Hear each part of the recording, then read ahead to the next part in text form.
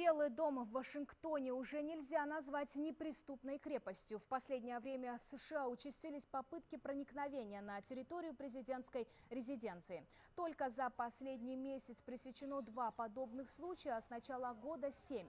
В итоге здесь усилили охрану. Сейчас разрабатывают новые механизмы защиты. Напомню, на прошлой неделе 23-летний мужчина пытался проникнуть в Белый дом. Ему помешали служебные собаки.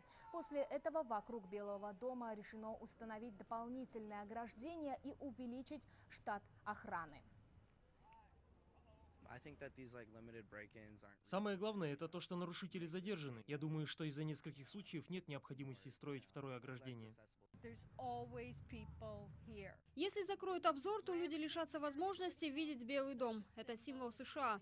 Однако властям не интересно мнение туристов. Если такое все же случится, то мы и к этому привыкнем.